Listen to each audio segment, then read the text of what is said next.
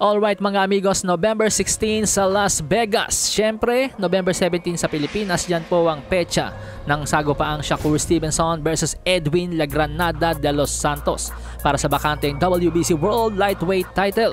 At ngayong araw nga po mga amigos, pag-uusapan natin ang keys to victory ni na Shakur Stevenson at Edwin De Los Santos. Alright, pero bago yan syempre, nais ko po munang imbitahin ng mga viewers na ngayon pa lamang napadpad sa teritoryo ng walang preno na mag-subscribe at pindutin ang notification bell para mas maging updated sa mga latest dito sa Walang Preno TV. Walang Preno TV. Bago ang lahat, natural tail of the tape muna tayo mga amigos. Shakur Stevenson, isang Puerto Rican American na may taas na 5'7", haba ng galamay na 68.1 inches, 26 anyos, southpaw ang tindigan or kaliwete maipaglaban at 6 na taon ng professional. May kartadang 20 wins, no losses, no draws with 10 knockouts. Dating WBO Featherweight World Champion, dating WBC at WBO Unified World Super Featherweight Champion, at ngayon yung laban niya kay Edwin De Los Santos tatangkain niyang maging 3 Division World Champion.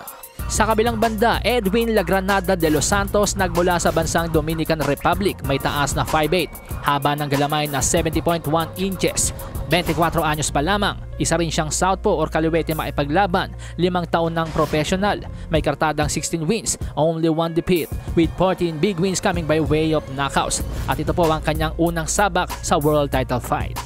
Ayon sa mga odds maker mga amigos, liyamadong liyamado si Shakur Stevenson. He is a minus 1,300 favorite ayon sa Pro Boxing Odds. Ibig sabihin niyan mga amigos, ang tayamang $1,300 tatama lamang ng $100 kapag kay Shakur Stevenson ka pumusta.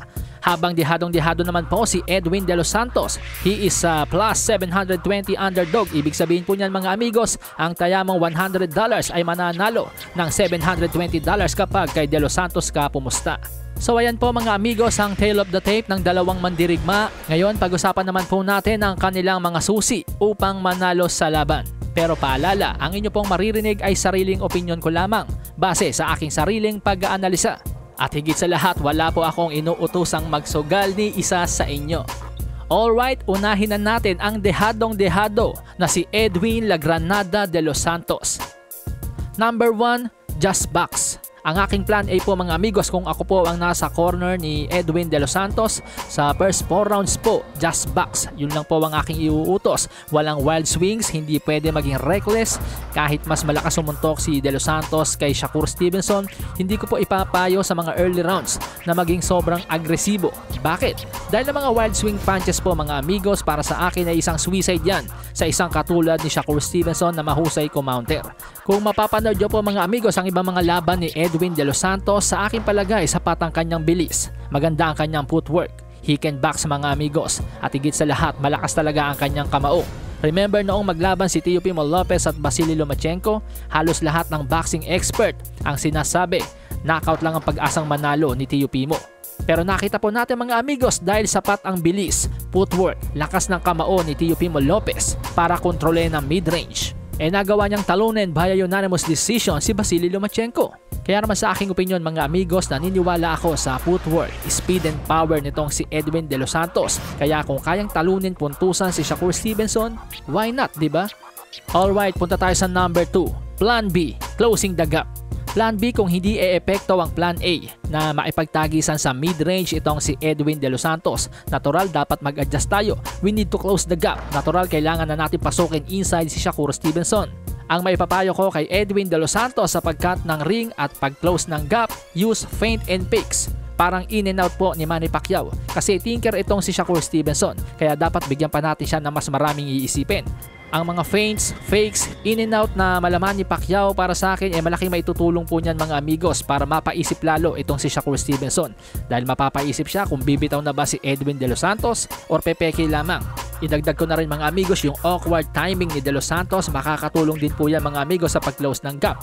Kung sa plan A wala mo ng wild swing punches, sa plan B kailangan na yan ni Edwin De Los Santos. Mix it up feints, fakes, in and out, then wild swings and combination kapag nakalapit na. And finally, number 3 sa ating keys to victory, body shot. Huwag nating kalilimutan mga amigos na misang inamin ni Shakur Stevenson na nung laban umano niya kay Oscar Valdez, eh nasaktan siya ni Valdez ng isang body shot nung round 3. Halos masuka-suka nga daw po si Shakur Stevenson sa sakit pero magaling siyang magkunwari at hindi ito nahalata ni Oscar Valdez noon. So like I said, malakas umuntok si Edwin De Los Santos kesa kay Shakur Stevenson.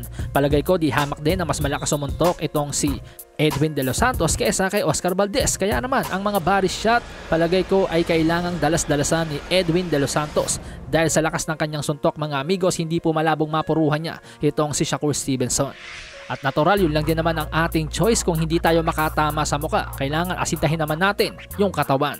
Ngayon, punta naman po tayo sa 3 keys to victory ni Shakur Stevenson. Number 1, don't exchange with La Granada. Kung ako ang nasa corner ni Shakur Stevenson mga amigos, ang magiging game plan ng team ay hanggat maaari bawasan yung chance manalo ni Edwin De Los Santos sa pamamagitan ng hindi pa ikipagsabayan. Now, kapag naipagsabayan si Shakur Stevenson kay De Los Santos, natural, tataas ang chance ang manalo ni De Los Santos. Gawa nga ng malakas itong sumuntok, mas malakas pa kaysa kay Shakur Stevenson.